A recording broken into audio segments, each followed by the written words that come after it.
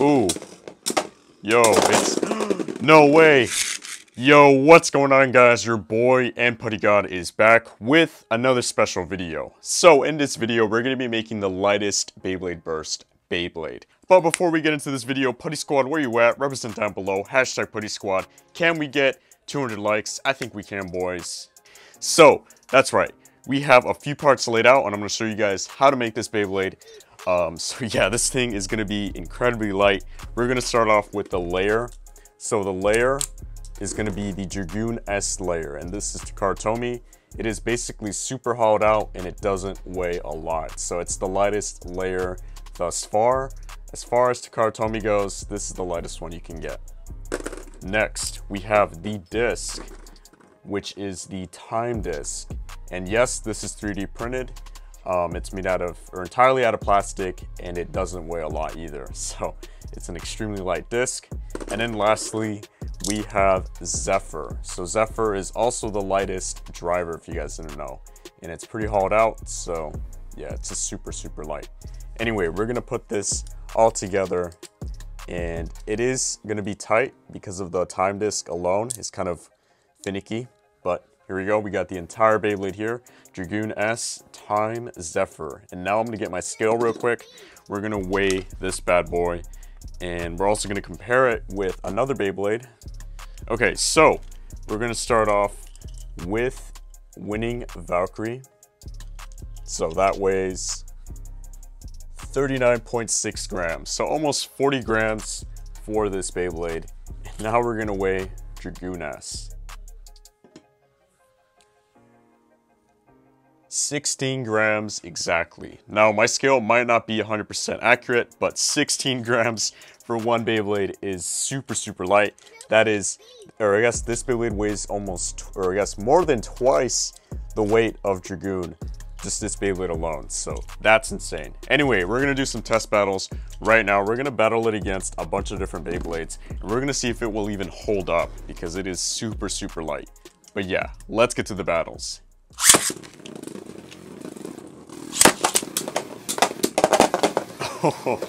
It just got bodied by Strike on Valkyrie.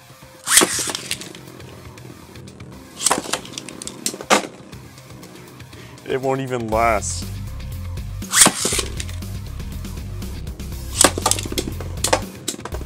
Oh, oh, some major hits. Oh my gosh. Let's try out something easier to burst.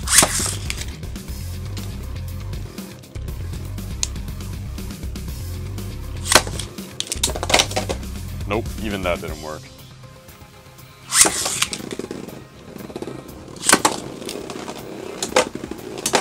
Yo!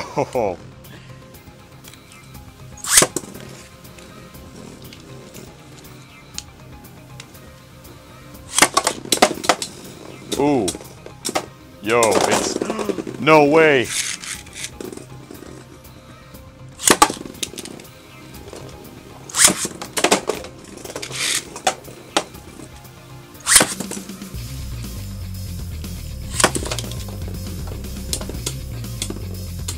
Got some hard hits.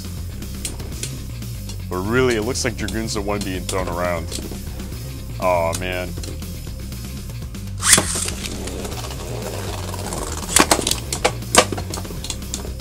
Ooh. It's still surviving. I believe in it.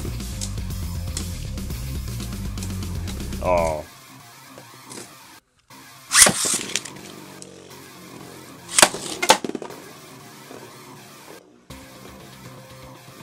Alright. It's actually staying in the stadium. It's making some contact. Oh, that hit. Oh wait, it picked up its balance. Oh, okay.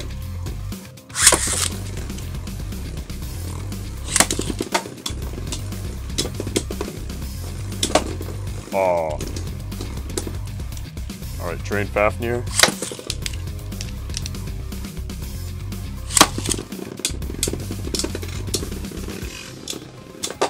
Whoa. Oh. Dang.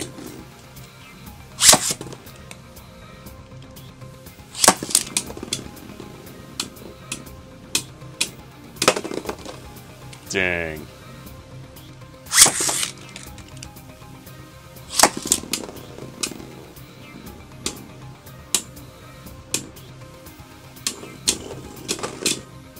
Ooh.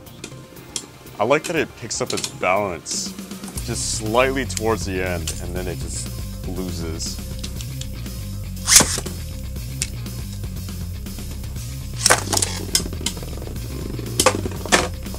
Dang, it even lost the, the seal.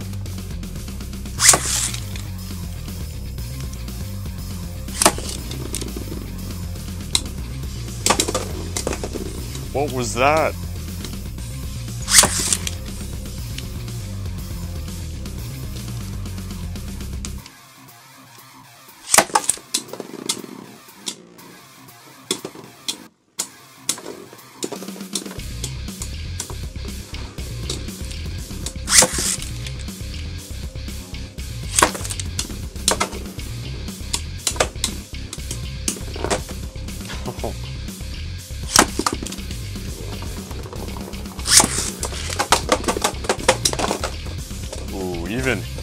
Even Victory Valkyrie is beating it.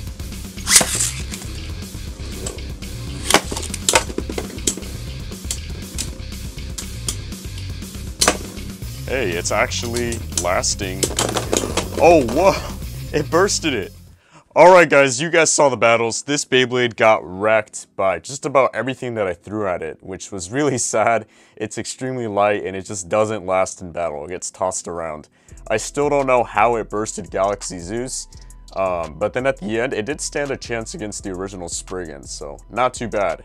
Once again, this Beyblade is only 16 grams. That's insane. If you guys do want to see more battles or more videos featuring this Beyblade, make sure to smash that like button down below. Let's make it happen, boys. Anyway, that's it for this video. Hope you guys enjoyed it. Don't forget to like, comment, and subscribe, and stay tuned for much more on the way very soon. Anyway, until next time, guys, see ya.